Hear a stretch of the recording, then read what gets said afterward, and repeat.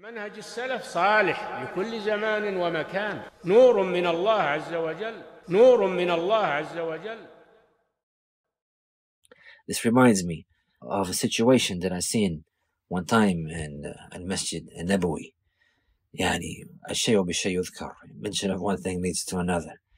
There is this one individual in Al-Masjid Al-Nabawi and I, and I don't know him, but I know him. I don't know him personally, but I know this person's face. And uh, how do I know him?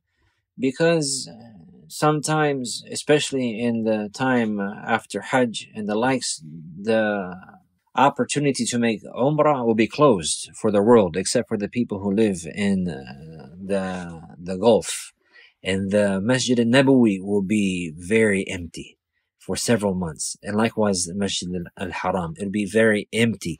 There are several months out of the year that the Masjid al-Nabawi is empty after Hajj for several months. Nobody comes in from outside, and the Masjid is empty, and you can move around freely, and there's lots of space and it's a very beautiful time to be in uh, Al-Masjid al-Nabawi and also a beautiful time to be in Mecca. When we're students, we will be there at that time, alhamdulillah.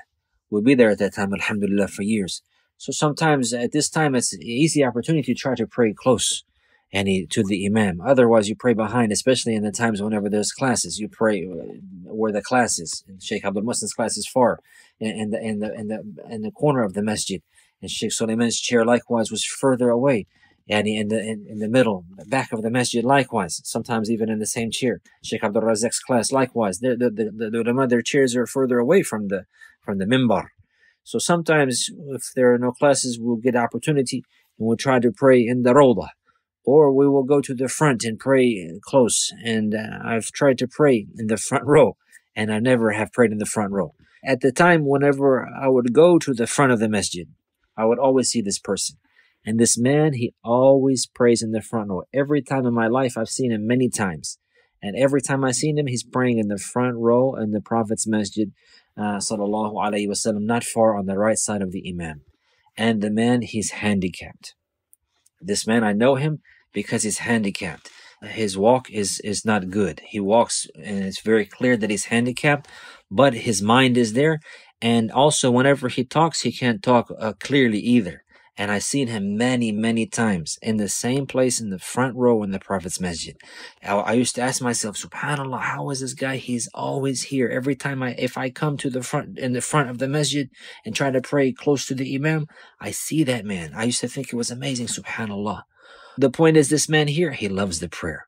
He's always in the masjid before everybody else. Obviously, to get to be in the front row in the Prophet's masjid, you have to strive hard.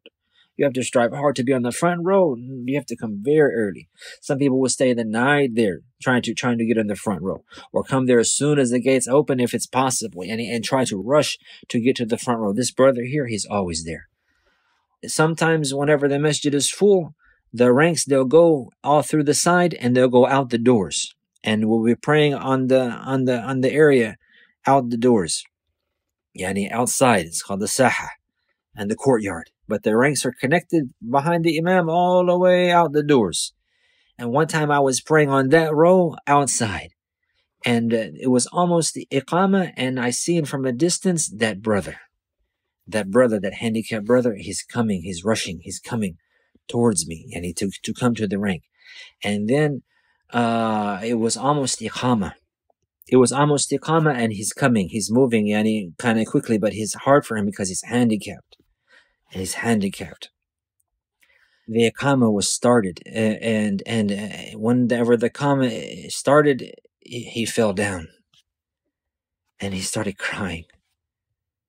Subhanallah, he fell down. He started crying, and he's crawling. Wallahi, I seen it with my eyes.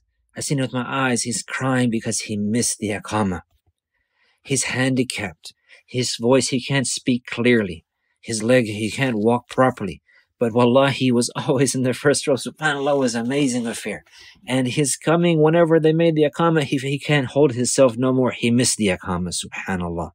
And he fell down and he started crying. And like, he's probably maybe 20, 30 feet in front of me. I watched him and he crawled and he got back up and then he came and he joined the rank and he was very sad. He was very sad. Subhanallah. These are examples of people who have iman in their heart. They believe They believe in the reward. They'll come to the prayer even if they're crawling. They'll come to the prayer even if they're crawling. They'll flee from the punishment of Allah even if they're crawling. Allahu Akbar.